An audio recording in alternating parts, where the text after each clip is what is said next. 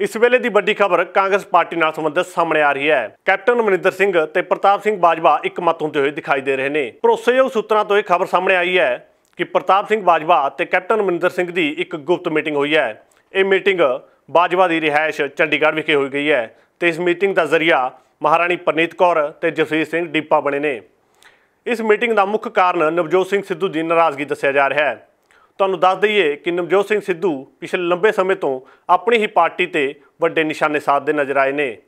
ਬੇਅਦਬੀ ਮਾਮਲੇ 'ਚ ਨਵਜੋਤ ਸਿੰਘ ਸਿੱਧੂ ਆਪਣੀ ਪਾਰਟੀ ਨੂੰ ਨਾਕਾਮ ਦੱਸਦੇ ਹੋਏ ਦਿਖਾਈ ਦੇ ਰਹੇ ਨੇ। ਤੇ ਜਿਸ ਤੋਂ ਬਾਅਦ ਦਿੱਲੀ ਵਿੱਚ ਤਿੰਨ ਮੈਂਬਰੀ ਕਮੇਟੀ ਬਣਾ ਕੇ ਕਾਂਗਰਸ ਵਿੱਚ ਚੱਲ ਰਹੇ ਕਾਟੋਕਲੇਸ਼ ਨੂੰ ਖਤਮ ਕਰਨ ਦੀ ਕੋਸ਼ਿਸ਼ ਕੀਤੀ ਗਈ, ਪਰ ਉੱਥੇ ਵੀ ਨਵਜੋਤ ਸਿੰਘ ਸਿੱਧੂ ਦੇ ਬਾਗੀ ਤੇਵਰ ਨਜ਼ਰ ਆਏ।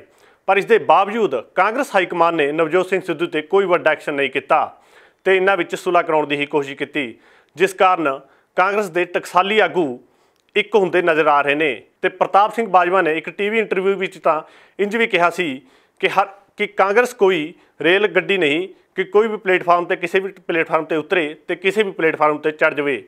ਇਹ ਨਿਸ਼ਾਨਾ ਉਸਨੇ ਨਵਜੋਤ ਸਿੰਘ ਸਿੱਧੂ ਤੇ ਹੀ ਸਾਧਿਆ ਸੀ। ਦੱਸਿਆ ਇਹ ਵੀ ਜਾ ਰਿਹਾ ਹੈ ਕਿ ਕੈਪਟਨ ਅਮਰਿੰਦਰ ਸਿੰਘ ਤੇ ਸੋਨੀਆ ਗਾਂਧੀ ਦੀ ਮੀਟਿੰਗ ਵੀ ਹੋ ਸਕਦੀ ਹੈ, ਜਿਸ 'ਚ ਕੋਈ ਵੱਡਾ ਫੈਸਲਾ ਸਾਹਮਣੇ ਆ ਸਕਦਾ ਹੈ।